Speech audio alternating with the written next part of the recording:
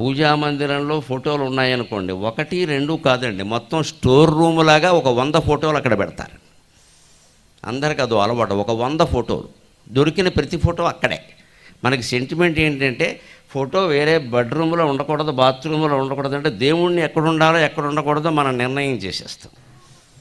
అన్ని ఫోటోలు పూజా మందిరంలో పెట్టవలసిన అవసరం లేదండి. మొత్తం అన్ని పట్టుకెళ్ళి అక్కడ పెట్టడమును చివరికి కడగలేక తొడవలేక అలా వదిలేయడం బూజు పట్టేయడం ఇప్పుడు పూజా మందిరం అయిందా పూజ మందిరం అయిందా? పూజా మందిరంలో కూడా మా ఇంట్లో నియమం ఏంటంటే కొత్త ఫోటో వస్తే పాత ఫోటో తీసేస్తాం. ఏమి ఇందులో ఇబ్బంది లేదు నేను చేసి మీకు చెబుతాను ఎప్పటికీ అదే ఉండాలి ఎప్పటికీ దాన్నే అవన్నీ ఏదో శ్రీ విద్య ఉపాసనలు ఆ ఉపాసనలు ఆ వ్యవహారాలు వేరు. మామూలుగా మనం పెట్టుకుని దండం పెట్టుకోవడానికి ఎందుకండి? ఇలా మొత్తం అన్నీ పేర్చుకుంటూ పోతే దేనికి మనం సేవ చేయలేం? పైగా బుర్రకి ఎలా బూజు పడుతుంది అంటే ముప్పై ఆరు విగ్రహాలు ఉన్నాయి ముప్పై ఆరు పువ్వులు పెట్టాలి ముప్పై ఆరు దండాలు పెట్టాలి ముప్పై ఆరు నైవేద్యాలు కూడా పెట్టాలి. మనం ముప్పై ఆరు ఆసుపత్రికి వెళ్ళిపోతాం ఈ చాకరీ చేసి. ఎప్పటికీ భగవతత్వం అర్థం కాదు. పైగా ఈ మధ్య ఇంకో పిచ్చి పని చేస్తున్నారు. సందర్భం వచ్చింది కాబట్టి చెబుతాను నేను. పూజా మందిరంలో తీసిన ఫోటోలు పట్టుకెళ్ళి నదుల్లో బారేస్తున్నారండి.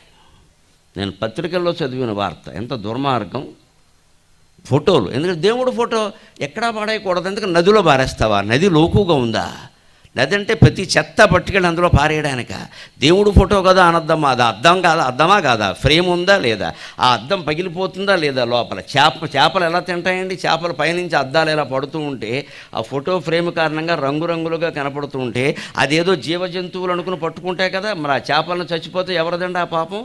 ఆ జీవుల్ని మనం చూడక్కర్లేదా? నదుల్లో ఇసుక ఉంటుంది కింద మట్టి ఉంటుంది. అందుకని మనం ఫోటోలు అడ్డమైన గడ్డి పట్టుకెళ్ళి నదుల్లో బారేయడం ఏంటండి? జరుగుతున్నాయి ప్రత్యేకంగా. మమ్మల్ని అడిగే సందేహాలు ఇవే ఫోటో నదిలో బారేయచ్చు. అసలు పారేయమని కూడా చెప్పండి కన్నా నేను పూజా మందిరంలో ఫోటోలు అధికమైనాయండి. ఒక ఫోటో వచ్చింది ఇంకో ఫోటో తీశారు. తిడుచు ఓ మూల పెట్టండి. ఎవరికైనా ఇవ్వండి. దాని అది కూడా లేని వాళ్ళు ఉన్నారు కదా ఇవ్వండి హాయిగా. మా ఇంట్లో ఈనాళ్ళు పూజ చేసాం మీ ఇంట్లో పెట్టుకోమని చెప్పండి పెట్టుకుంటారు. వారు తిరస్కరిస్తే ఇంకోరికి ఇవ్వండి. ఎవ్వరూ వద్దని చెప్పారనుకోండి కట్టకట్టి మీ ఇంట్లోనే ఓ పక్కన పెట్టండి. నష్టమా? తర్వాత తరాల వాళ్ళు చూసుకుంటారు. లేదు పాత ఫోటోలు తీసుకున్న వాడికి ఇచ్చేసేయండి ఫ్రేమ్ తీసేసి వాడుకుంటాడు. కొంపలేం అంటుకుపోవండి. అవేం కాశీలో శివలింగాలు కావు అంత అంత బిల్డప్ ఇవ్వక్కర్లేదు వాటికి. మనకి ప్రతిదానికి ఇంత బిల్డప్ ఇచ్చేస్తాం. జీవితంలో మాత్రం నీతి అక్కర్లేదు మనకి. శుభ్రంగా మింగేస్తాం. వందల కోట్లు మింగేస్తాం. అనుమానం లేదు. ఎవడాస్తేనా కనిపిస్తే ఆక్రమించేయడమే. పూజా మందిరం దగ్గర మాత్రం అన్ని శంకలు వచ్చేస్తాయి ఇక్కడ. ఈ వంకర పనులు బయట చేయకుండా ఉంటే నువ్వు పూజ ఎలా చేసినా పర్వాలేదు. నేను మొదటి నుంచి మొత్తుకునేది అదే. నాకు పద్మశ్రీ కూడా ఇందుకే ఇచ్చారు. జ్ఞానాన్ని పంచిపెట్టినందుకే. అజ్ఞానపు నమ్మకాలన్నీ ఖండించి జ్ఞానాన్ని పంచిపెట్టినందుకే ఇచ్చారు. కేంద్రం వాళ్ళకు కూడా కావలసింది అదే. పిచ్చి భక్తి కాదు. దేవుడి విగ్రహం మీరు బంగారు విగ్రహం పెట్టండి కాశీ నుంచి శివలింగం తండి తివరి తిరుపతి నుంచి విగ్రహం తండి. అది కేవలం స్ఫూర్తి మాత్రమే. దయచేసి గ్రహింతురుగాక ఎవరు నమ్మినా నమ్మకపోయినా ఇది పరమ సత్యం. మహిమలు విగ్రహాల్లో ఉండవు మన మనస్సులో ఉంటాయి. నువ్వు భక్తితో ప్రార్థిస్తే రాయి కూడా రాముడవుతుంది. నువ్వు భక్తితో ప్రార్థిస్తే రాయి కూడా రాముడు అవుతుంది నీ దగ్గర భక్తి లేనప్పుడు రాముడు కూడా రాయే. ఏం ఉపయోగం లేదు ఇక్కడ ఇప్పుడు నీ మీద ఆధారపడి ఉంది మహిమ దేవుడి మీద కాదు. మన మీద మనకి నమ్మకం లేక వేటి మీదో నమ్మకం ఉంటుంది మనకి ఎంతసేపు. ఆయన ఎవడో వచ్చేస్తే ఈయన ఎవడో చదివేస్తే ఆ విగ్రహం ఏదో పెట్టేస్తే మనకి ఏదో అయిపోతుంది. ఏమవుతుంది ఇక్కడ. నువ్వు ఏదైనా చేస్తేనే అవుతుంది.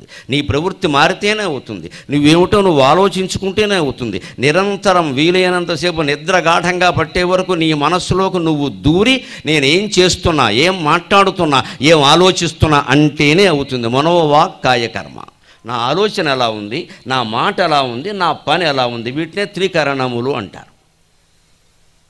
ఈ మూడు ఆలోచన సరి చేసుకోకుండా జరిగేదేమీ లేదండి. ఎన్ని గుళ్ళు కట్టించినా ఒకటే ఎంతమంది దండాలు పెట్టుకున్నా ఒకటే ఎన్నిసార్లు మీరు తిరుపతి వెళ్ళినా ఒకటే.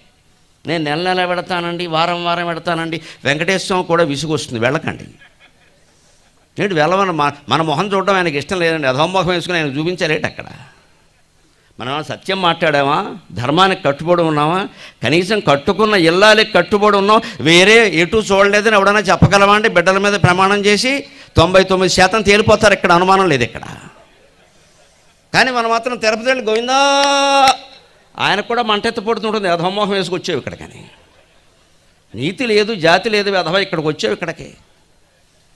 భగవంతుడు ధర్మానికి సత్యానికి కట్టుబడతాడు తప్ప నువ్వు ఇచ్చే కానుకలకు ఎప్పుడు కట్టుబడడు మిత్రమా? గ్రహింతువుగాక గ్రహింతువుగాక కోట్ల రూపాయలు ఇచ్చిన ఆయనకు అనవసరం. పైగా ప్రసిద్ధమైన దేవాలయాల్లో మీరు ముడుపులు విపరీతంగా వేయడం వల్ల అక్కడ అవినీతి పెరుగుతోంది గమనించండి. సమస్యలు ఎందుకు పెరుగుతున్నాయి? మన వల్లనే మన వల్లనే పెరుగుతున్నాయి. ఈ పక్కనే జంగారెడ్డిగూడెంలో ఉంటుంది బొట్టాయిగూడెంలో ఉంటుంది వేరే గూడెంలో ఉంటుంది. వెంకటేశ్వరం సరిపోదాను తిరుపతి ఎందుకు వెళ్ళడం పరిగెట్టుకుని? రోజుకు రెండు లక్షల మంది వస్తే ఎవరు చేస్తారండి ఏర్పాటు? దేవుడు దిగొచ్చిన టీటీడీ చైర్మన్ ఇప్పుడు ఉన్నవాళ్ళు కాదండి. దేవుణ్ణి మీరు చైర్మన్ చేసినా చేసేదేం లేదమ్మా. దేవుడే చైర్మన్ అయితే వెంటనే ఏం చేస్తారంటే గోవిందా అని అక్కడి నుంచి మాయమైపోతాడు గొడవ లేకుండా ఇంకా మళ్ళీ కనపడ్డాయి. ఇంక రాడుగా అవడను ఆయనే లేనప్పుడు మనం ఎందుకు కడతాం. అంటే ఆయనే మాయమైపోతాడు దేవుడు చైర్మన్ అయితే వెంటనే చేసే పని ఏంటంటే గోవిందా అని వెళ్ళిపోతాడు. వైకుంఠానికి వెళ్ళిపోతాడు. అనవసరంగా వచ్చాం బాబాని మొత్తం దేవాలయాల్లో అవినీతి జరుగుతుంది అంటే మనం కారణం మన పిచ్చి నమ్మకాలు కారణం. దాని నుంచి బయటపడి జీవితంలో స్వచ్ఛంగా ఉన్నావా లేదా? సంపాదన ప్రతి రూపాయి స్వచ్ఛంగా ఉందా లేదా? లక్ష్మీదేవి ఎక్కడ పుట్టిందండి? మన పురాణాలు ఏం చెబుతున్నాయండి? లక్ష్మీం క్షీరసముద్రరాజతనయాం శ్రీరంగధామేశ్వరీం దాసీభూత సమస్తలోక విభవ బ్రహ్మేంద్ర గంగాధరాం త్వాం త్రైలోక్య కుటుంబినీం క్షీరసముద్రరాజతనయాం. పాల సముద్రంలో పుట్టింది లక్ష్మీదేవి.